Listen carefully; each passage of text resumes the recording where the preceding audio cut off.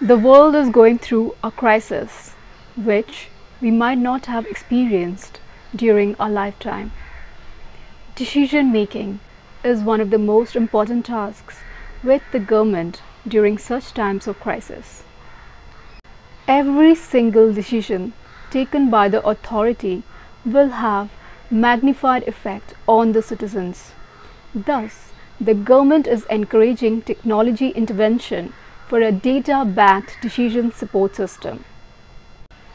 And one of the organizations assisting the government in doing so is Sapio Umbrella, which is a part of Sapio Analytics. A community outreach program has been initiated by them wherein they are inviting number of individuals from diversified background to contribute towards combating this situation by providing innovative ideas and thoughts.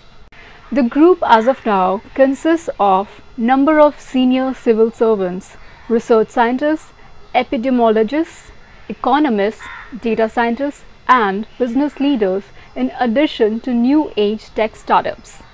They are assisting government with the help of their prediction modeling, predicting the spread of the virus, impact of the spread, impact on economy, planning revival of economy, resource optimization of essential services, healthcare facilities and many more things.